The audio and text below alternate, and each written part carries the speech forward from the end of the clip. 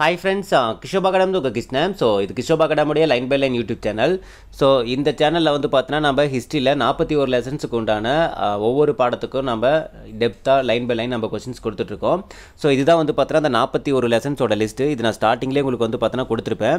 So இந்த PDF வந்து பார்த்தோன்னா கீழே உங்களுக்கு டிஸ்கிரிப்ஷனில் லிங்காக கொடுத்துருக்கேன். ஸோ புதுசாக பார்க்குறவங்க அந்த லிங்க்கை கிளிக் பண்ணி டவுன்லோட் பண்ணிங்க.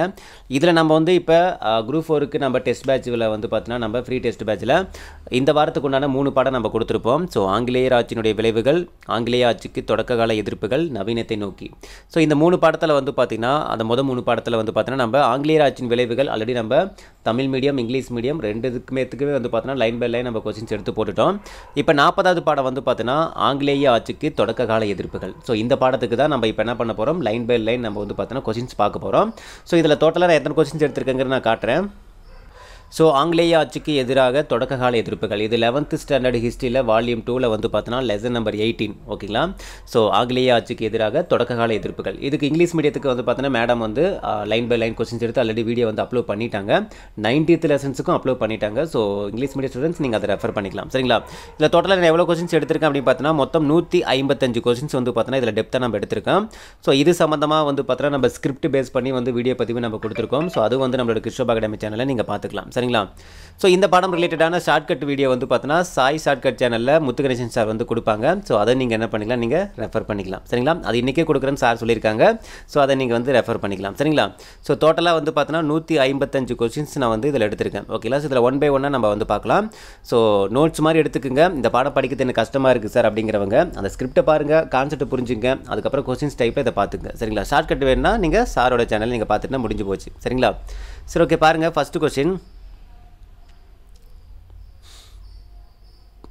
okay first question பாருங்கள் மைசூர் டேஸ் பேரரசின் கீழ் நிலமானிய முறையில் இயங்கிய ஒரு சிறு அரசாக இருந்தது. மைசூர் டேஸ் பேரரசின் கீழ் நிலமானிய முறையில் இயங்கிய ஒரு சிறு அரசாக இருந்தது. ஸோ எந்த அரசின் கீழே இருந்துச்சு? விஜயநகர பேரரசு. சரிங்களா? நீங்கள் அந்த நான் சொல்ல சொல்ல உங்களுக்கு அந்த ஸ்கிரிப்ட் உங்களுக்கு ஈஸியாக ஞாபகம் வரும்னு நினைக்கிறேன். ஸோ அதை நம்ம கிருஷ்ணப் அகாடமியில் நான் இப்போ பிளேலிஸ்ட்டில் கூட நான் ஆட் பண்ணியிருக்கேன். ஸோ நீங்கள் அதை பார்த்தீங்கன்னா உங்களுக்கு ஈஸியாக புரியும். அடுத்து செகண்ட் கொஸ்டின் பாருங்கள் ஆயிரத்தி ஐநூற்றி அறுபத்தி அஞ்சில் விஜயநகர பேரரசுக்கு வீழ்ந்ததற்கு பிறகு சுதந்திர ஆட்சியாளர் ஆனவர்கள் யார்? ஆயிரத்தி ஐநூற்றி அறுபத்தி அஞ்சில் விஜயநகர பேரரசு வீழ்ந்ததற்கு பிறகு சுதந்திர ஆட்சியாளராக உருவானவர்கள் யாருன்னு பார்த்தீங்கன்னா உடையார் வம்சத்தினர். ஓகேங்களா? ஸோ அப்போ விஜயநகர பேரரசு வீழ்ந்ததுக்கப்புறம் உடையார் வம்சத்தினா என்ன பண்ணாங்க? சுதந்திர ஆட்சியாளர் ஆனாங்க. ஓகேங்களா? ஓகே அடுத்து பாருங்கள் ராஜா உடையார் எந்த ஆண்டில் அரியணை ஏறினார்? ராஜா உடையார் எந்த ஆண்டில் அரியணை ஏறினார்? ஆயிரத்தி ஐநூற்றி எழுபத்தி எட்டு. சரிங்களா? ஸோ ரொம்ப முக்கியமான கொஸ்டின்ஸ் அதை நோட் பண்ணி வச்சுங்க. அதுக்கப்புறம் எந்த வருஷம் தலைநகரம் மைசூரிலிருந்து ஸ்ரீரங்கப்பட்டினத்திற்கு மாற்றப்பட்டது? எந்த ஆண்டில் தலைநகரம் மைசூரிலிருந்து ஸ்ரீரங்கப்பட்டினத்திற்கு மாற்றப்பட்டது? ஆயிரத்தி அறுநூற்றி பத்து. சரிங்களா? ஸோ அடுத்து பாருங்கள் ஹைதர் அலியுடைய தந்தை யார்? ஹைதர் அலியினுடைய தந்தை பதே முகமது. ஓகேங்களா யார்? பதே முகமது. ஓகே சிக்ஸ்த் கொஸ்டின் பாருங்கள் ஹைதர் அலியுடைய தந்தை எந்த பகுதியினுடைய கோட்டை காவற்படை தளபதியாக இருந்தார்? அதாவது பௌஜ்தார்னு சொல்லுவாங்க ஓகேங்களா? எந்த பகுதியினுடைய கோட்டை காவற்படை தளபதியாக இருந்தார்? ஸோ ஆன்சர் வந்து பார்த்தோன்னா கோலார் பகுதி ஓகேங்களா? எந்த பகுதி? கோலார் பகுதி. ஸோ அடுத்த கொஸ்டின் பாருங்கள் ஹைதர் அலி எந்த ஆண்டிற்குள் அவர் நூறு குதிரைப்படை வீரர்களையும் இரண்டாயிரம் காலாட்படை வீரர்களையும் நிர்வகிக்கும் அளவுக்கு அதிகாரம் படைத்த பொறுப்பை பெற்றிருந்தார்?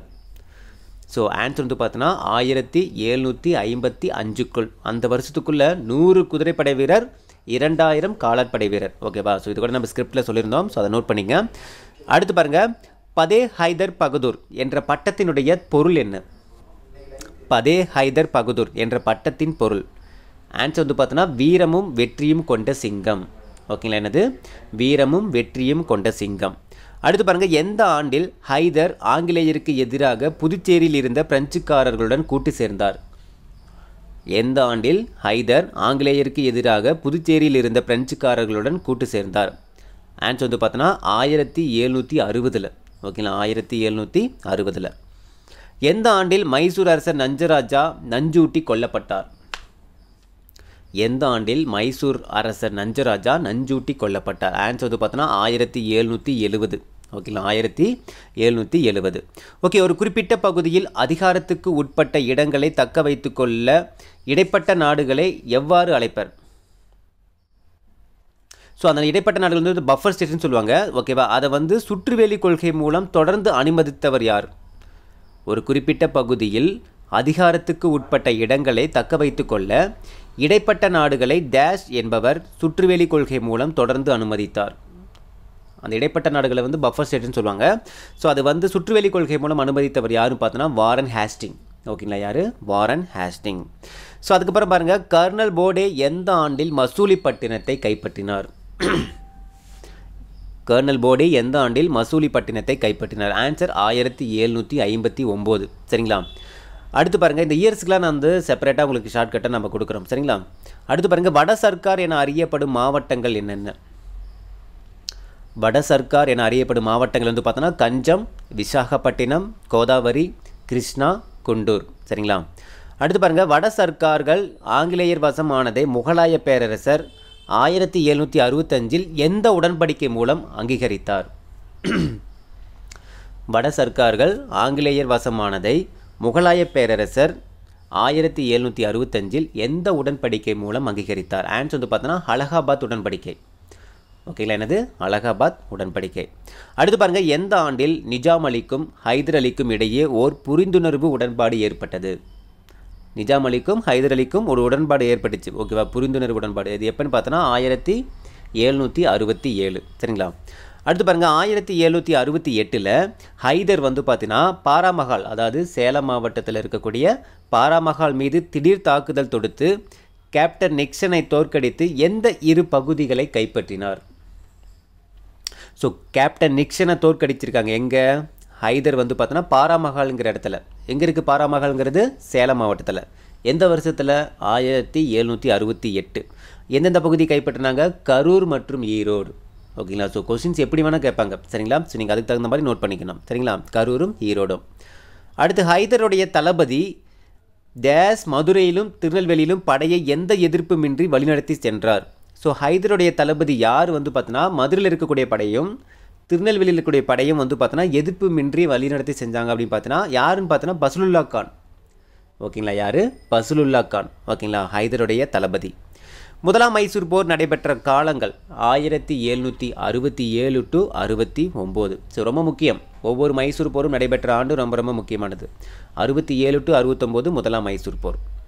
அமெரிக்க சுதந்திர போருக்கு பிறகு பிரான்ஸ் அமெரிக்காவுடன் நட்பு உடன்படிக்கை எந்த ஆண்டு செய்து கொண்டது? கொஸ்டின் நம்பர் பத்தொம்போது. அமெரிக்க சுதந்திர போருக்கு பிறகு பிரான்ஸ் அமெரிக்காவுடன் நட்பு உடன்படிக்கை எந்த ஆண்டில் செய்து கொண்டது? ஆயிரத்தி எழுநூற்றி எழுபத்தி எட்டில்.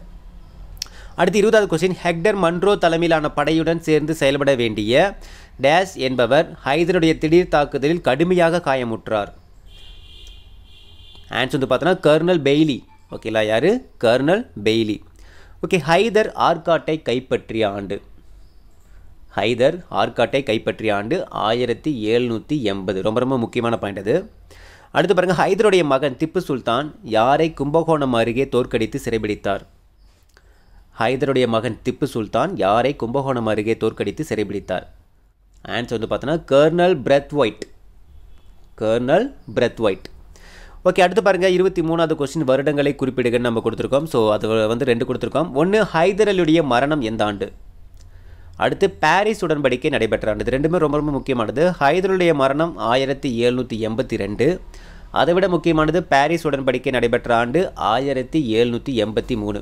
ஹைதர் அலி இறந்த அடுத்த வருஷம் தான் பாரிஸ் உடன்படிக்கை நடக்குது. சரிங்களா? அடுத்து பாருங்கள் டேஷ் என்பவர் கரூரையும் திண்டுக்கல்லையும் கைப்பற்றினார். கரூரையும் திண்டுக்கல்லையும் கைப்பற்றினது யார்? Colonel Lang. ஓகேங்களா யார்? கர்னல் லேங்க். ஸோ பாலக்காட்டையும் கோயம்புத்தூரையும் கைப்பற்றினது யார்? கர்னல் புல்லர்டன் ஓகேங்களா யார்? கர்னல் புல்லர்டன் ஓகேங்களா?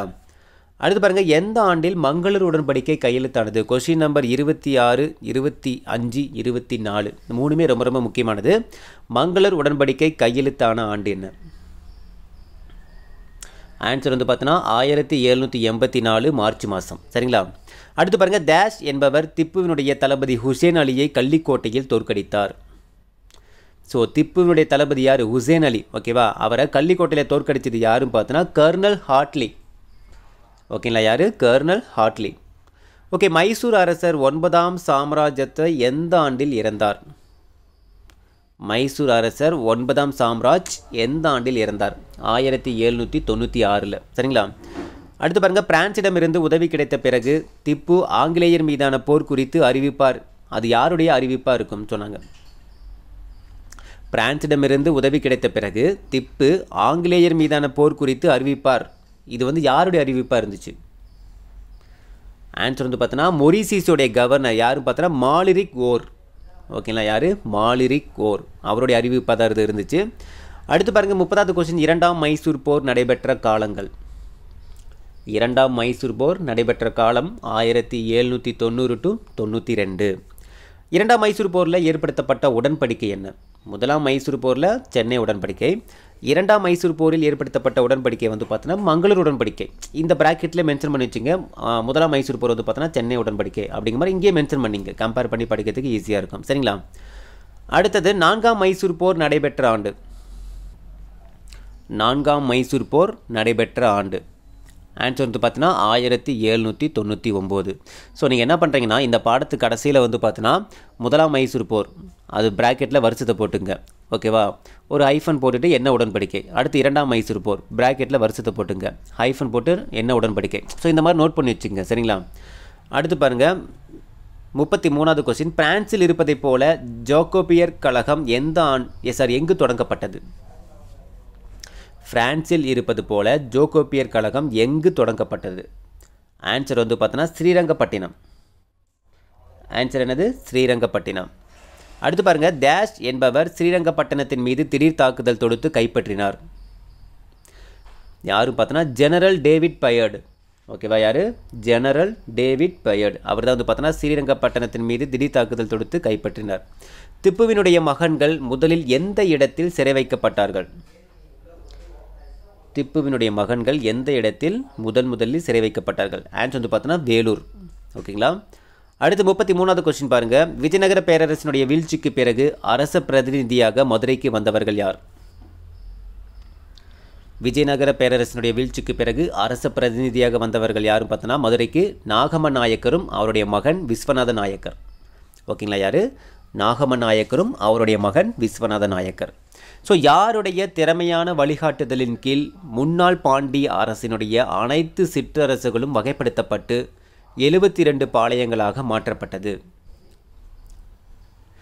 யாருடைய திறமையான வழிகாட்டுதலின் கீழ் முன்னாள் பாண்டிய பேரரசினுடைய அனைத்து சிற்றரசுகளும் வகைப்படுத்தப்பட்டு எழுபத்தி ரெண்டு மா பாளையங்களாக மாற்றப்பட்டது. ஆன்சர் வந்து பார்த்தோன்னா தளவாய் அரியநாத முதலியார். ஓகேங்களா? எனது தளவாய் அரியநாத முதலியார். ஓகே அடுத்து பாருங்க கான் சாஹிப் என்று அழைக்கப்படுபவர் யார்? கான் சாஹிப் என்று அழைக்கப்படுபவர் யார்? ஆன்சர் வந்து பார்த்தோன்னா யூசப் கான். ஓகேங்களா யார்? யூசப் கான். அடுத்து பாருங்கள் ஏ டேஷ் என்பவர் கிழக்கிந்திய கம்பெனி படையில் இந்திய வீரர்களுக்கு தலைவராக நியமிக்கப்பட்டார். டேஷ் என்பவர் கிழக்கிந்திய கம்பெனி படையில் இந்திய வீரர்களுக்கு தலைவராக நியமிக்கப்பட்டார். ஆன்சர் வந்து பார்த்தோன்னா சேம் யூசப் கான் தான். சரிங்களா? அடுத்து பாருங்க. யாருடைய வேண்டுகோளின்படி ஆயிரத்தி எழுநூற்றி ஐம்பத்தி அஞ்சில் அவருக்கு உதவி செய்ய ஐநூறு ஐரோப்பியர்களும் இருநூறு சிப்பாய்களும் அடங்கிய படை மதுரை திருநெல்வேலி பகுதிகளுக்கு நுழைய உத்தரவிடப்பட்டது. யாருடைய வேண்டுகோளின்படி ஆயிரத்தி எழுநூற்றி ஐம்பத்தி அஞ்சில் அவருக்கு உதவி செய்ய ஐநூறு ஐரோப்பியரும் இரநூறு சிப்பாய்களும் அடங்கிய படை மதுரை திருநெல்வேலி பகுதிகளுக்கு நுழைய உத்தரவிடப்பட்டது. ஹேண்ட்ஸ் வந்து பார்த்தீங்கன்னா ஆற்காடு நவாப். ஓகேங்களா? ஆற்காடு நவாபுடைய வேண்டுகோள் படி தான் இது நடந்துச்சு. சரிங்களா? ஸோ இந்த அவருக்குங்கிறது யாருன்னு மட்டும் புக்கில் பார்த்துக்குங்க. நான் அவருக்குங்கிறது டேரெக்டாகவே எடுத்துட்டேன். ஓகேங்களா புக்கில் இருந்து அது யாருக்குன்னு பார்த்துக்குங்க. அடுத்து ஆற்காடு நவாபினுடைய மூத்த அண்ணன் யார்? ஆற்காடு நவாபினுடைய மூத்த அண்ணன் யாருன்னு பார்த்தோன்னா மாபுஸ்கான். ஓகேங்களா? யார்? மாப்புஸ் கான் ஓகே நவாப் வந்து பார்த்தோன்னா சந்தா சாஹிப்பினுடைய பிரதிநிதிகளான டேஷ் டேஷ் டேஷ் ஆகிய பதான் இனத்தை சேர்ந்த அதிகாரிகள் மதுரையையும் திருநெல்வேலியும் கண்காணித்து வந்தனர். நவாப் சந்தா சாஹிப் அவனுடைய பிரதிநிதி யாருன்னு பார்த்தோன்னா மியானா முடிமையா நபிகான் கட்டாக். ஓகேங்களா? இவங்க தான் வந்து பார்த்தோன்னா பதான் இனத்தை சேர்ந்த அதிகாரிகள். இவங்க எல்லாமே வந்து பார்த்தோன்னா நவாப் சந்தா சாஹிப்பினுடைய பிரதிநிதிகள். இவங்க தான் வந்து மதுரையும் திருநெல்வேலி என்ன பண்ணாங்க? கண்காணிச்சிட்டு இருந்தாங்க. சரிங்களா? ஓகே மூன்றாம் மைசூர் போர் நடைபெற்ற போது கவர்னர் ஜெனரலாக இருந்தவர் யார்? மூன்றாம் மைசூர் போர் நடைபெற்ற போது கவர்னர் ஜெனரலாக இருந்தவர் யார் பார்த்தோன்னா காரன் வாலிஸ். ஓகேங்களா யார்? காரன் வாலிஸ். ஓகே முதல் ஆங்கிலேய மராத்திய போருக்கு பின் மராத்தியர் ஆங்கிலேயருடன் செய்து கொண்ட உடன்படிக்கை எது? முதல் ஆங்கிலேய மராத்திய போருக்கு பின் மராத்தியர் ஆங்கிலேயருடன் செய்து கொண்ட உடன்படிக்கை வந்து பார்த்தோன்னா சால்பு உடன்படிக்கை. ஓகேலானது சால்பை உடன்படிக்கை. ஓகே திப்புவினுடைய தூதுக்குழுவை நட்புறவுடன் நடத்திய பிரெஞ்சு அரசர் யார்? திப்புவினுடைய தூதுக்குழுவை நட்புறவுடன் நடத்திய பிரெஞ்சு அரசர் யாருன்னு பார்த்தோன்னா பதினாறாம் லூயி. ஓகேங்களா யார்? பதினாறாம் லூயி. ஓகே ஸ்ரீரங்கப்பட்டினம் அருகே திப்பு தோற்கடிக்கப்பட்ட கவர்னர் ஜெனரல் யார்? ஸ்ரீரங்கப்பட்டினம் அருகே திப்பு தோற்கடித்த கவர்னர் ஜெனரல் யாருன்னு பார்த்தோன்னா காரன் வாலிஸ். ஓகேங்களா யார்? காரன் வாலிஸ். ஓகே ஸ்ரீரங்கப்பட்டண உடன்படிக்கையின்படி திப்பு எந்த பகுதியை இழந்தார்? ஸ்ரீரங்கப்பட்டண உடன்படிக்கையின்படி திப்பு எந்த பகுதியை இழந்தார்? குடகு. ஓகேங்களா எந்த பகுதி? குடகு பகுதியை இழந்தார்.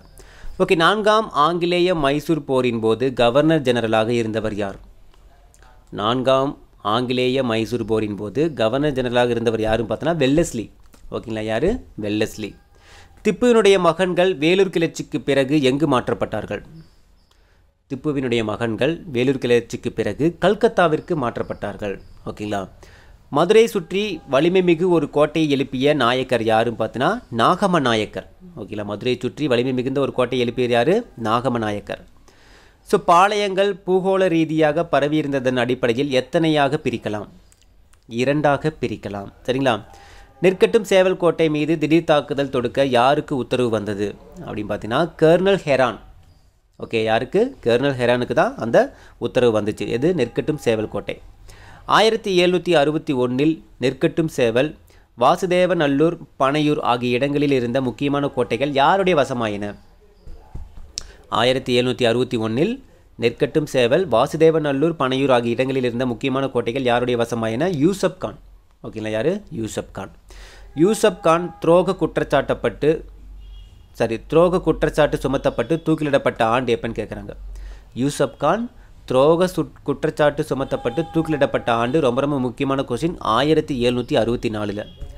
அடுத்து களக்காட்டில் நடைபெற்ற போரில் யாருடைய படை தோற்றது? களக்காட்டில் நடைபெற்ற போரில் யாருடைய படை தோற்றது? ஆன்சர் வந்து பார்த்தோன்னா மாப்புஸ்கான் யாருடைய படை? மாப்புஸ்கான் எந்த ஊர் திரும்ப தரப்படும் என்ற வாக்குறுதி மூலமாக புலித்தேவர் திருவிதாங்கூரினுடைய ஆட்சியாளரையும் தன் கூட்டமைப்பில் சேர்த்திருந்தார். எந்த ஊர் திருப்பி தரப்படும் என்ற வாக்குறுதி மூலமாக புலித்தேவர் திருவிதாங்கூரினுடைய ஆட்சியாளரையும் தன் கூட்டமைப்பில் சேர்த்திருந்தார். ஆன்சர் வந்து பார்த்தோன்னா களக்காடு. ஆன்சர் என்னது? களக்காடு. ஸோ மதுரை திருநெல்வேலி பகுதிகளில் நவாபினுடைய பிரதிநிதியாக நியமிக்கப்பட்டவர் யாருன்னு பார்த்தோன்னா மாப்புஸ்கான் ஓகேங்களா? மதுரை திருநெல்வேலி நவாபினுடைய பிரதிநிதியாக மாப்புஸ்கான் நெற்கட்டும் சேவல் கோட்டையை முற்றுகையிட்டு ஆயிரத்தி எழுநூற்றி அறுபத்தி ஏழில் கைப்பற்றியவர் யார்? பார்த்தோன்னா கேப்டன் கேம்பல் ரொம்ப ரொம்ப முக்கியமான பாயிண்ட் யார்? கேப்டன் கேம்பல் அடுத்து பாருங்கள் மருதநாயக்கம் பிள்ளை எங்கிருந்த போது இஸ்லாம் சமயத்தை தழுவினார்? ஆன்சர் வந்து பார்த்தோன்னா புதுச்சேரி. அடுத்து ஹைதர் அலியை தோற்கடித்து சோழவந்தானை கைப்பற்றியவர் யார்? ஆன்சர் வந்து பார்த்தோன்னா யூசப் கான். ஓகேங்களா யார்? யூசப் கான். லாலினுடைய மதராஸ் முற்றுகையின் போது யாருடைய பங்களிப்பு சிறப்பானதாக இருந்தது? லாலினுடைய மதராஸ் முற்றுகையின் போது யாருடைய பங்களிப்பு சிறப்பானதாக இருந்தது? ஆன்சர் வந்து யூசப் கான். அடுத்து பாருங்க ராமநாதபுரம் சிவகங்கை விருதுநகர் புதுக்கோட்டை ஆகிய மாவட்டங்களாக இன்று அறியப்படும் பகுதியை ஆட்சி புரிந்தவர்கள் யார்? ஆன்சர் வந்து பார்த்தோன்னா சேதுபதி மன்னர்கள். ஓகேலா யார்? சேதுபதி மன்னர்கள். ஹைதர் அலியுடைய பாதுகாப்பில் வேலு நாச்சியார் எத்தனை ஆண்டு காலம் இருந்தார்? யாருடைய பாதுகாப்பில்? ஹைதர் அலியோட பாதுகாப்பில். ஆன்சர் வந்து பார்த்தோன்னா எட்டு ஆண்டுகள். ஓகேங்களா? வேலு நாச்சியார் எந்த ஆண்டு ஆங்கிலேயருடன் போரிட்டு வென்றார்? ஆன்சர் ஆயிரத்தி எழுநூற்றி எண்பதில். சிவகங்கை மீண்டும் கைப்பற்றிய நாச்சியார் யாருடைய துணையுடன் ராணியாக முடிசூடினார்? யாருடைய உதவி? மருது சகோதரர்கள். ஓகேலா யார்? மருது சகோதரர்கள். ஆங்கிலேயருடைய சமரச உடன்பாட்டின்படி சிவகங்கை அரசரானவர் யார்? சிவகங்கை அரசரானவர் யாருன்னு பார்த்தீங்கன்னா வேங்கன் பெரிய உடைய தேவர். யார்? வேங்கன் பெரிய உடைய தேவர். வேலுநாச்சியார் நோயுற்று இறந்த ஆண்டு எப்போ ஆயிரத்தி எழுநூற்றி தொண்ணூற்றி ஆறு. ஆயிரத்தி எழுநூற்றி தொண்ணூத்தாறு. வீரபாண்டிய கட்டபொம்மன் ஆட்சி செய்த பகுதி எது அப்படின்னு பார்த்தீங்கன்னா பாஞ்சாலங்குறிச்சி. இது நமக்கு தெரிஞ்சது தான் கட்டபொம்மனுடைய தாத்தா யார்? ஜெகவீர கட்டபொம்மன். யாருடைய காலத்தில் குறுநில மன்னராக இருந்தார்? ஆன்சர் வந்து பார்த்தீங்கன்னா கெர்னல் ஹெரான். ஓகேங்களா யார்? Colonel Heron. ஆயிரத்தி எழுநூற்றி தொண்ணூற்றி எட்டு மே முப்பத்தி ஒன்று வரை பாஞ்சாலங்குறிச்சி பாளையம் கம்பெனிக்கு கட்டாது வைத்திருந்த கப்பத்தொகை எவ்வளவு? எவ்வளவு பார்த்தீங்கன்னா யார்? கட்டபொம்மன். ஓகே எவ்வளோன்னு பார்த்தோன்னா மூவாயிரத்தி முந்நூற்றி பத்து பகோடாக்கள். பகோடாக்கள்னால் வராகன்னு சொல்லுவாங்க நாணயங்கள் அப்படிங்கிற மாதிரி. சரிங்களா? பகோடாக்கள். திப்பு சுல்தான் ஆட்சியில் மைசூரில் ஒரு பகோடா எத்தனை ரூபாய்க்கு சமமாக கொல்லப்பட்டது? மூன்றரை ரூபாய். ஒரு பகோடானா மூன்றரை ரூபாய் அப்படிங்கிற மாதிரி. சரிங்களா? யார் காலத்தில்? திப்பு சுல்தான் ஆட்சி காலத்தில். அடுத்து பகோடா மரத்தை உழுக்குதல் என்ற சொலவடை எந்த நாட்டு மக்களிடையே நிலவியது? பகோடா மரத்தை உழுக்குதல் அப்படிங்கிற அந்த சொலவடை எந்த நாட்டு மக்களிடையே நிலவியதுன்னு பார்த்தோன்னா இங்கிலாந்து பிரிட்டன் சரிங்களா?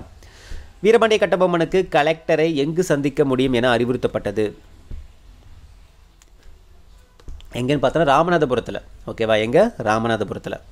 கட்டபொம்மன் இருபத்தி மூன்று நாட்களில் நானூறு மைல் தூரம் பயணித்த கலெக்டரை சளைக்காமல் பின்தொடர்ந்து டேஷாம் நாள் ராமநாதபுரத்தை அடைந்தார்.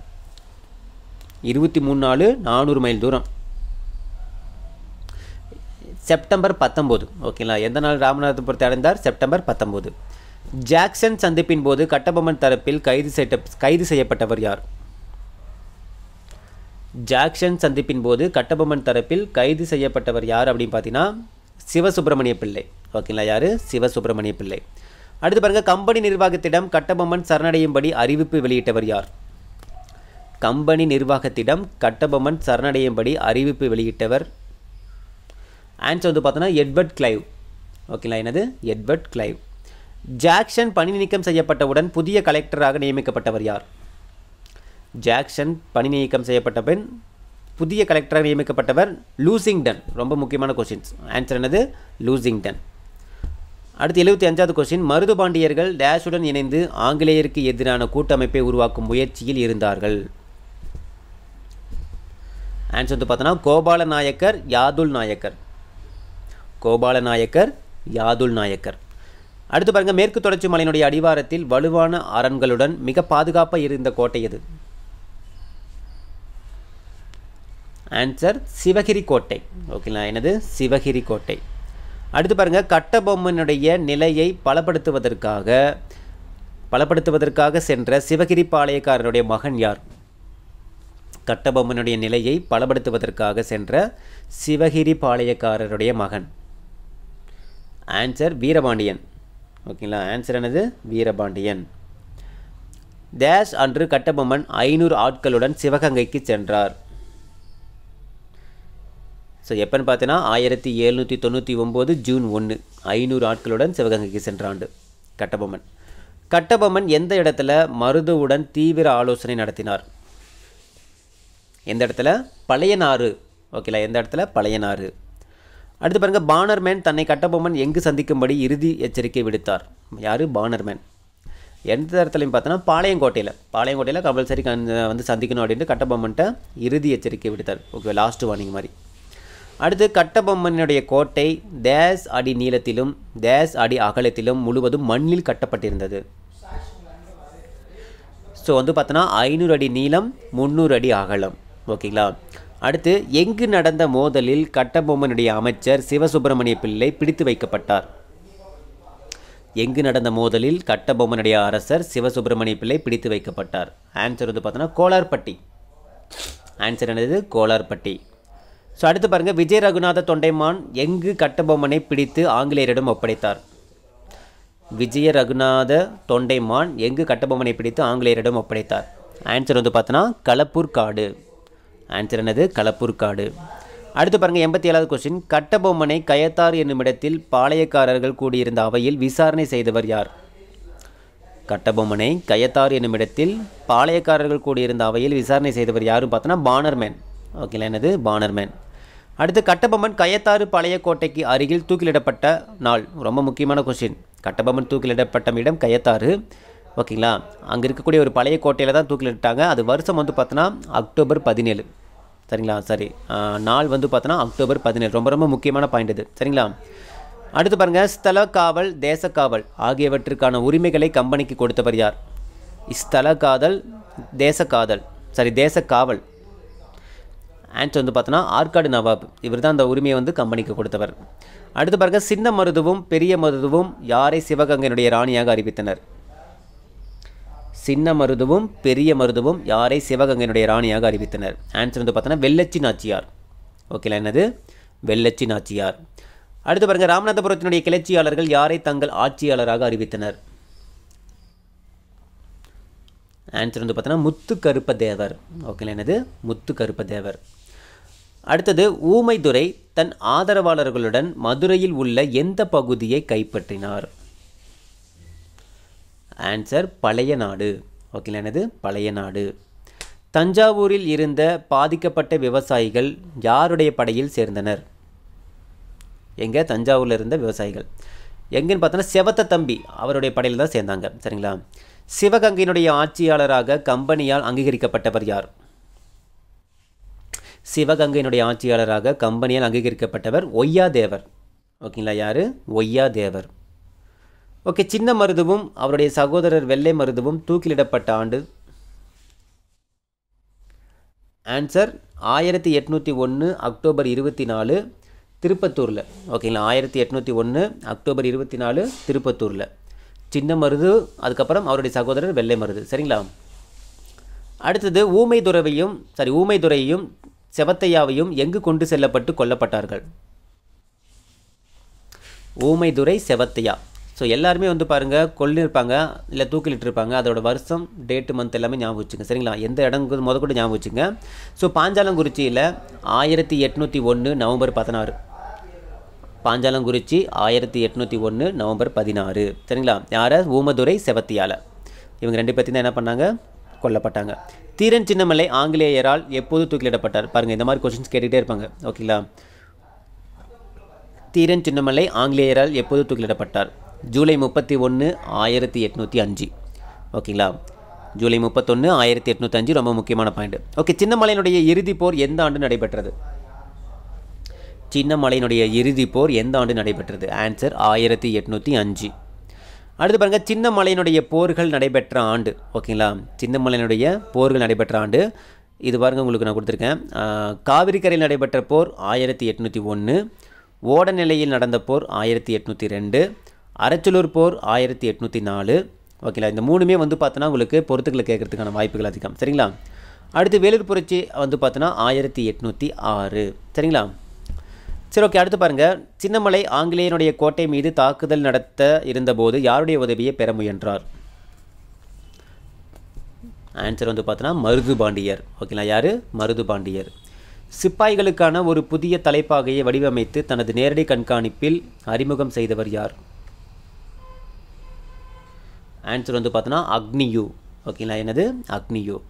அடுத்து பாருங்கள் கிளர்ச்சியாளர்களில் லட்சுமி பாய் மிகச்சிறந்த தைரியம் மிக்க தலைவர் என லட்சுமி பாயை பற்றி குறிப்பிட்டவர் யார்? ஆன்சர் வந்து பார்த்தோன்னா ஹக்ரோஸ். ஓகேங்களா என்னது? ஹக்ரோஸ்.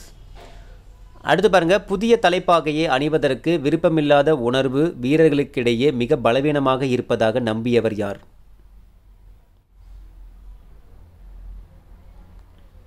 ஸோ ஆன்சர் வந்து பார்த்தீங்கன்னா உங்களுக்கு வில்லியம் பெண்டிங். ஓகேங்களா? என்னது? William Bentinck. அடுத்து பாருங்கள் வேலூர் புரட்சியில் முக்கிய பங்கு வகித்ததாக கருதப்படுபவர் யார்? ஆன்சர் வந்து பார்த்தோன்னா ஜமாலுதீன். ஓகேங்களா? என்னது? ஜமாலுதீன். அடுத்து பாருங்கள் திப்புவினுடைய முன்னாள் அமைச்சர் என்று ஜமாலுதீனாவால் குறிப்பிடப்பட்டவர் யார்? திப்புவினுடைய முன்னாள் அமைச்சர் என்று ஜமாலுதீனால் குறிப்பிடப்பட்டவர் யாருன்னு பார்த்தோன்னா புர்னியா. ஓகேங்களா யார்? புர்னியா. அடுத்து பாருங்கள் வேலூர் கோட்டையில் ஏற்பட்ட புரட்சி முதலில் யாருக்கு தெரிவிக்கப்பட்டது? ஆன்சர் வந்து பார்த்தோன்னா கார்பரல் பியர்சி. ஓகேங்களா என்னது? கார்பரல் பிஎஸ்சி அடுத்து பாருங்கள் வேலூர் கழகத்தின் போது ஆற்காட்டில் குதிரைப்படை முகாமுக்கு பொறுப்பு வகித்தவர் யார்? வேலூர் கழகத்தின் போது ஆற்காட்டில் குதிரைப்படை முகாமுக்கு பொறுப்பு வகித்தவர் யாருன்னு பார்த்தோன்னா கில்லஸ்பி. ஓகேங்களா? யார்? கில்லஸ்பி. தன்னை பின்தொடர்ந்து வரும்படி கர்னல் ஹென்னிடம் அறிவுறுத்துவிட்டு வேலூர் கோட்டையை நோக்கி புறப்பட்டு சென்றவர் யார்? தன்னை பின்தொடர்ந்து வரும்படி கர்னல் கென்னடிடம் அறிவுறுத்தப்பட்டு வேலூர் கோட்டையை நோக்கி புறப்பட்டு சென்றவர் யாரும் பார்த்தோன்னா சேம் அவரே தான் கில்லஸ்பி தான். சரிங்களா? அடுத்தது யாருடைய தலைமையில் கோட்டையினுடைய வெளிவாசல் கதவு தகர்க்கப்பட்டது? யாருடைய தலைமையில் கோட்டையினுடைய வெளிவாசல் கதவு தகர்க்கப்பட்டது? ஆன்சர் வந்து பார்த்தோன்னா பிளாக்கிஸ்டன். ஓகேங்களா யார்? பிளாக்கிஸ்டன். அடுத்து பாருங்கள் கில்லஸ்பியினுடைய ஆட்கள் கிளர்ச்சிக்கு திட்டம் தீட்டிய திப்புவினுடைய மகன்களை பழிவாங்க விரும்புவதை எதிர்த்தவர் யார்? கில்லஸ்பியுடைய ஆட்கள் கிளர்ச்சிக்கு திட்டம் தீட்டிய திப்புனுடைய மகன்களை பழிவாங்க விரும்புவதை எதிர்த்தவர் யாருன்னு பார்த்தோன்னா கர்னல் மரியாட். ஓகேங்களா யார்? Colonel Marriott. அடுத்து பாருங்கள் வேலூர் புரட்சியின் போது எட்நூறுக்கும் மேற்பட்ட உடல்கள் கோட்டையிலிருந்து வெளியே எடுத்துச் செல்லப்பட்டதாக கூறியவர் யார்?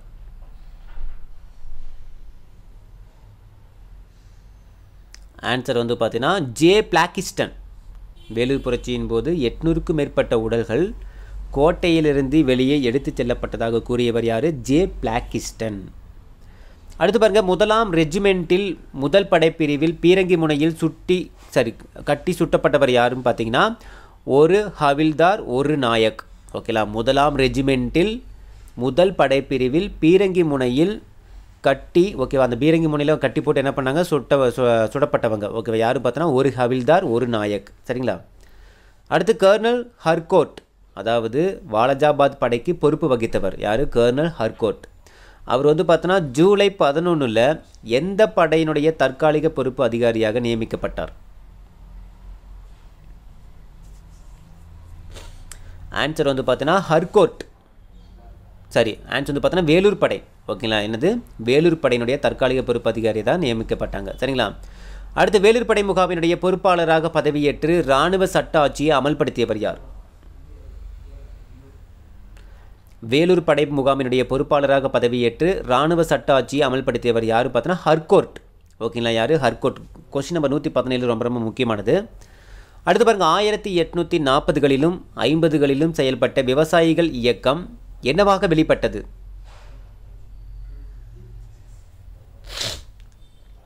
ஆன்சர் வந்து பார்த்தோன்னா மலபார் கிளர்ச்சி ரொம்ப முக்கியமானது. ஆயிரத்தி எட்நூற்றி நாற்பதுலையும் சரி ஐம்பதுலையும் சரி விவசாயிகளுடைய இயக்கம் மலபார் கிளர்ச்சி. மாப்பிள்ளைகள் தேசில் மீண்டும் எழுச்சி பெற்றனர் மாப்பிள்ளை கிளர்ச்சின்னு இருக்கும். ஓகேங்களா? அது வந்து பார்த்தோன்னா ஆயிரத்தி எட்நூற்றி எழுவது. கோள்களின் கிளர்ச்சி எந்த ஆண்டு நடைபெற்றது? ஆயிரத்தி எட்நூற்றி முப்பத்தி ஒன்று டு முப்பத்தி ரெண்டு. அடுத்து மிக தீவிரமாக ஒரு குறுகிய பரப்புக்குள் நடந்த சண்டையில் கொல்லப்பட்ட கோல் கிளர்ச்சியினுடைய தலைவர். மிக தீவிரமாக ஒரு குறுகிய பரப்புக்குள் நடந்த சண்டையில் கொல்லப்பட்ட கோல் கிளர்ச்சியினுடைய தலைவர். ஆன்சர் புத்த பகத் ஆன்சர் என்னது? புத்த பகத் அடுத்து பாருங்கள் கோல் கிளர்ச்சிக்கு தூண்டுகோலாக இருந்தவர் யார்? கோல் கிளர்ச்சிக்கு தூண்டுகோலாக இருந்தவர் யாருன்னு பார்த்தோன்னா பிந்த்ராய் மல்கி. ஓகேங்களா யார்? பிந்த்ராய் மல்கி. அடுத்து சந்தால் கிளர்ச்சி எந்த ஆண்டு நடைபெற்றது? சந்தால் கிளர்ச்சி எந்த ஆண்டு நடைபெற்றது? ஆயிரத்தி எட்நூற்றி ஐம்பத்தி அஞ்சு டு ஐம்பத்தி ஆறு. சந்தால்கள் எந்த குன்றுகளை சுற்றியுள்ள பகுதியை திருத்தி அதை சந்தால்களின் நிலம் என்று அழைத்தார்கள். சந்தால்கள் எந்த குன்றுகளை சுற்றியுள்ள பகுதியை திருத்தி அதை சந்தால்களின் நிலம் என்று அழைத்தார்கள். ஆன்சர் வந்து பார்த்தோன்னா ராஜ்மஹல் குன்று. ஆன்சர் என்னது? ராஜ்மஹல் குன்று. தொடக்கத்தில் சந்தால்களின் தலைவராக இருந்தவர் யார்? தொடக்கத்தில் சந்தால்களின் தலைவராக இருந்தவர் யார்? ஆன்சர் வந்து பார்த்தோன்னா சித்தோ. ஆன்சர் என்னது? சித்தோ. ஆயிரக்கணக்கான விவசாயிகள் டேஸ் தொழிற்சாலையை தாக்கி கொள்ளையடித்தார்கள். ஆயிரக்கணக்கான விவசாயிகள் டேஸ் தொழிற்சாலையை தாக்கி கொள்ளையடித்தார்கள். ஆன்சர் வந்து பார்த்தோன்னா சார்லஸ் மசேக் அபுரித். எனது சார்லஸ் மசேக் அபுரித். அடுத்து முண்டாக்களின் கிளர்ச்சி எந்த காலகட்டத்தில் நடைபெற்றது? முண்டாக்களின் கிளர்ச்சி எந்த காலகட்டத்தில் நடைபெற்றது? ஆன்சர் ஆயிரத்தி எட்நூற்றி தொண்ணூற்றி ஒம்பது டு ஆயிரத்தி தொள்ளாயிரம். ஆயிரத்தி எட்நூற்றி தொண்ணூத்தொம்பது டு ஆயிரத்தி தொள்ளாயிரம். ஆங்கிலேயரை விரட்டிவிட்டு முண்டாக்களின் ஆட்சியை நிறுவ வந்த புனித தூதர் என தன்னை அழைத்து கொண்டவர் யார்? ஆங்கிலேயரை விரட்டிவிட்டு முண்டாக்களினுடைய ஆட்சியை நிறுவ வந்த புனித தூதர் என தன்னை அழைத்து கொண்டவர் யாருன்னு பார்த்தோன்னா பிர்சா. ஓகேங்களா யார்? பிர்சா. அடுத்து பாருங்க முண்டா இனத்தை சேர்ந்த விவசாயிகள் ஜமீன்தார்களுக்கு வாடகை செலுத்த வேண்டாம் என வலியுறுத்தியவர் யார்? முண்டா இனத்தை சேர்ந்த விவசாயிகள் ஜமீன்தார்களுக்கு வாடகை செலுத்த வேண்டாம் என வலியுறுத்தியவர் யாருன்னு பார்த்தோன்னா பிர்சா முண்டா. ஓகேங்களா யார்? பிர்சா முண்டா. அடுத்து பாருங்கள் பிர்சா முண்டா எந்த பகுதியில் கிளர்ச்சியை துவக்கினார்? பிர்சா முண்டா எந்த பகுதியில் கிளர்ச்சியை துவக்கினார்? ஆன்சர் வந்து பார்த்தோன்னா சோட்டா நாக்பூர். ஓகேங்களா என்னது? சோட்டா நாக்பூர். டேஷ் என்னும் இடத்தில் சமூகத்தை சேர்ந்த பெண்கள் கண்மூடித்தனமாக கொல்லப்பட்டார்கள்.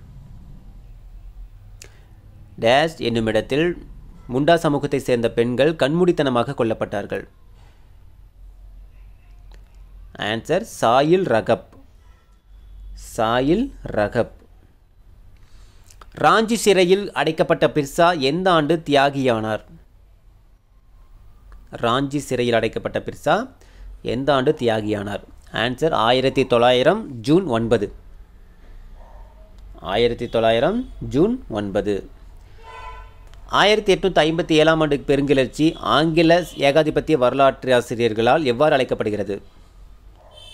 ஆயிரத்தி எட்நூற்றி ஐம்பத்தி ஏழாம் ஆண்டு பெருங்கிளர்ச்சி ஆங்கில ஏகாதிபத்திய வரலாற்று ஆசிரியர்களால் எவ்வாறு அழைக்கப்படுகிறது? ஆன்சர் இராணுவ கழகம் இராணுவ வீரர்களுடைய கோபத்தின் வெளிப்பாடு. எப்படி வேணால் சொல்லுவாங்க. சரிங்களா? அடுத்து நூற்றி முப்பத்தி நாலாவது கொஸ்டின் ஒரு இராணுவ வீரர்களுடைய கழகம் அப்படிங்கிறது விரைவாக தனது குணாதித்தியத்தை மாற்றிக்கொண்டு தேசிய எழுச்சியாக மாறியது என்று ஆயிரத்தி எட்நூற்றி ஐம்பத்தி ஏழாம் ஆண்டு பெருங்கிளர்ச்சி குறித்து குறிப்பிடுபவர் யார்? ஒரு இராணுவ வீரர்களுடைய கழகம் விரைவாக தனது குணாதித்தை மாற்றிக்கொண்டு தேசிய எழுச்சியாக மாறியது என்று ஆயிரத்தி எட்நூற்றி ஐம்பத்தி ஏழாம் ஆண்டு பெருங்கிளர்ச்சியை குறித்து குறிப்பிடுபவர் யாருன்னு பார்த்தோன்னா கர்னல் மல்லீசன். ஆன்சர் என்னது கர்னல் மல்லீசன். அடுத்து பெருங்கிளர்ச்சிக்கு காரணமாக செயல்பட்ட பல விஷயங்களை முன்வைப்பவர் யார்? பெருங்கிளர்ச்சிக்கு காரணமாக செயல்பட்ட பல விஷயங்களை முன்வைப்பவர் யாருன்னு பார்த்தோன்னா கர்னல் கீன். ஓகேங்களா என்னது? Colonel Keene. அடுத்து பெருமளவில் உண்மையான விடுதலை போராட்டம் என பெருங்கிளர்ச்சி குறித்து கூறியவர் யார்? பெருமளவில் உண்மையான விடுதலை போராட்டம் என பெருங்கிளர்ச்சி குறித்து கூறியவர் யார்? Answer Edward John Thompson Edward John Thompson ஆயிரத்தி தொள்ளாயிரத்தி ஒன்பதில் வெளியான சாவர்கரினுடைய புத்தகம் எது? ஆயிரத்தி தொள்ளாயிரத்தி ஒன்பதில் வெளியான சாவர்கருடைய புத்தகம் எது? ஆன்சர் வந்து பார்த்தோன்னா முதல் இந்திய சுதந்திர போர். முதல் இந்திய சுதந்திர போர். குத்தகை இல்லாத நிலங்களை வைத்திருப்போர் பற்றி விசாரிக்க இனாம் கமிஷன் எந்த அரசு அமைத்தது? குத்தகை இல்லாத நிலங்களை வைத்திருப்போர் பற்றி விசாரிக்க இனாம் கமிஷன் எந்த ஆண்டு அமைத்தது? ஆன்சர் வந்து பார்த்தோன்னா பம்பாய் அரசு தான் அமைச்சிச்சு. எப்போன்னு பார்த்தோன்னா ஆயிரத்தி எட்நூற்றி ஐம்பத்தி ஏழில். சரிங்களா? அடுத்து நீதிமன்றங்களில் பொதுப்பணிகளின் தேர்வுகளில் டேஸ் மொழியினுடைய பயன்பாடு ஒழிக்கப்பட்டது. நீதிமன்றங்களில் பொதுப்பணி தேர்வுகளில் டேஸ் மொழியினுடைய பயன்பாடு ஒழிக்கப்பட்டது. ஆன்சர் பாரசீக மொழி. ஆன்சர் என்னது? பாரசீக மொழி. அடுத்து எந்த ஆண்டு இயற்றப்பட்ட சட்டம் வங்காளப்படையில் உயர் ஜாதியினரும் சேர்ந்து கொள்ள வழிவகை செய்யப்பட்டது எந்த ஆண்டில் இயற்றப்பட்ட சட்டம் வங்காளப்படையில் உயர் சாதியினரும் சேர்ந்து கொள்ள வழிவகை செய்தது? ஆன்சர் ஆயிரத்தி எட்நூற்றி ஐம்பத்தி ஆறு. ஆயிரத்தி எட்நூற்றி ஐம்பத்தி ஆறு. அடுத்து லெக்ஸ்லோசி அப்படின்னு சொல்லக்கூடிய அந்த சட்டம் எந்த ஆண்டு இயற்றப்பட்டது? லெக்ஸ்லோசி என்ற சட்டம் எந்த ஆண்டு இயற்றப்பட்டது? ஆன்சர் வந்து பார்த்தோன்னா ஆயிரத்தி எட்நூற்றி ஐம்பது.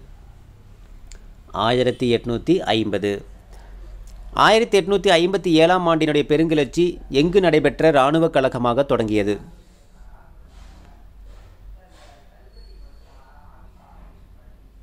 ஆன்சர் வந்து பார்த்தோன்னா பரக்பூர். ஆன்சர் வந்து பார்த்தோன்னா பரக்பூர். அடுத்து பாருங்கள் கிளர்ச்சியாளர்கள் யாரை பேரரசராக பிரகடனம் செய்தனர்? கிளர்ச்சியாளர்கள் யாரை பேரரசராக பிரகடனம் செய்தனர்? ஆன்சர் வந்து பார்த்தோன்னா இரண்டாம் பகதூர் ஷா. ஆன்சர் இரண்டாம் பகதூர் ஷா. அடுத்து தன்னை பேரரசருடைய வைசராயாக அறிவித்து கொண்டவர் யார்? தன்னை பேரரசருடைய வைசராயாக அறிவித்து கொண்டவர் யார்?